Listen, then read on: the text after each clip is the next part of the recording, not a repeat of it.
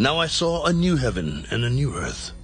For the first heaven and the first earth had passed away. Also there was no more sea.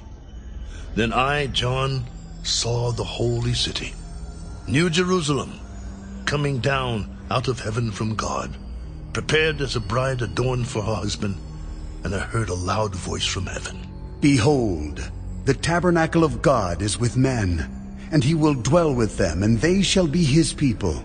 God himself will be with them and be their God, and God will wipe away every tear from their eyes. There shall be no more death, nor sorrow, nor crying. There shall be no more pain, for the former things have passed away. Then he who sat on the throne said, Behold, I make all things new. Write, for these words are true and faithful. It is done. I am the Alpha and the Omega, the beginning and the end. I will give of the fountain of the water of life freely to him who thirsts. He who overcomes shall inherit all things, and I will be his God. He shall be my son. But the cowardly, unbelieving, abominable, murderers, sexually immoral, sorcerers, idolaters, and all liars shall have their part in the lake which burns with fire and brimstone, which is the second death. Then one of the seven angels who had the seven bowls filled with the seven last plagues came to me and talked with me. Come, I will show you the bride, the Lamb's wife. And he carried me away in the Spirit to a great and high mountain, and showed me the great city, the holy Jerusalem, descending out of heaven from God, having the glory of God. Her light was like a most precious stone, like a jasper stone, clear as crystal. Also she had a great and high wall with twelve gates, and twelve angels at the gates, and names written on them, which are the names of the twelve tribes of the children of Israel. Three gates on the east, three gates on the north, three gates on the south, and three gates on the west.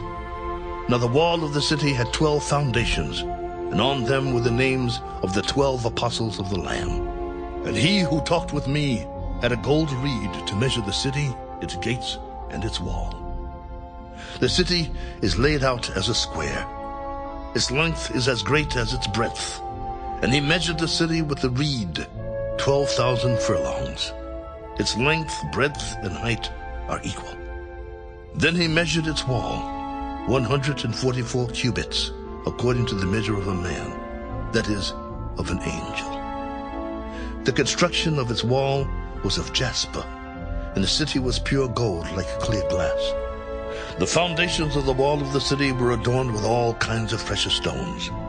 The first foundation was jasper, the second sapphire, the third chalcedony, the fourth emerald, the fifth sardonyx, the sixth sardis, the seventh chrysolite, the eighth beryl, the ninth topaz, the tenth chrysoprase, the eleventh jacinth, and the twelfth amethyst. The twelve gates were twelve pearls.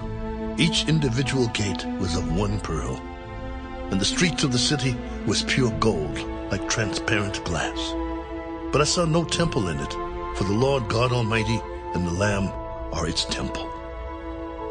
The city had no need of the sun or of the moon to shine in it, for the glory of God illuminated it. The Lamb is its light. And the nations of those who are saved shall walk in its light, and the kings of the earth bring their glory and honor into it. Its gates shall not be shut at all by day. There shall be no night there. And they shall bring the glory and the honor of the nations into it. But there shall by no means enter it anything that defiles or causes an abomination or a lie, but only those who are written in the Lamb's book of life.